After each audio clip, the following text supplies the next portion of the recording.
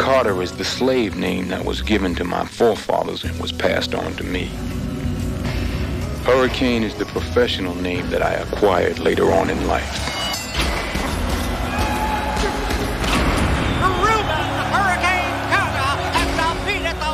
One thing I could do and the only thing was box. Can you believe that black punk? He thinks he's champion of the world. We're looking for two Negroes in a white car. Any two will do.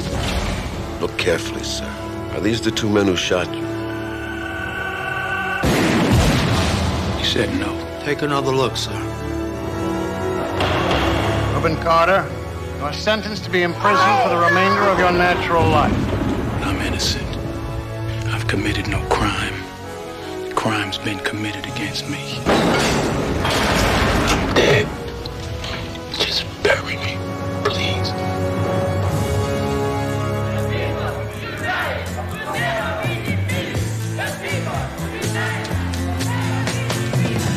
Comes the story of the hurricane.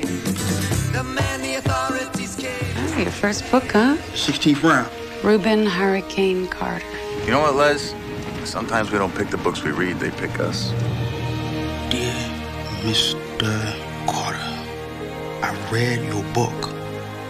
I would like to come and visit you. You think I killed those people, son? No, no, I know you didn't. Two juries found him guilty, Les. But the man's innocent, yet he's been in jail 15, 16 years. It's not right. It's very important to transcend the places that hold us. Can you see us? Yeah. You could understand not leaving without you. 50 years old. Your Honor, this case was built on a foundation of lies. 20 years spent locked up in a cage. Justice, that's all I ask for. Hate put me in prison. Love's gonna bust me out.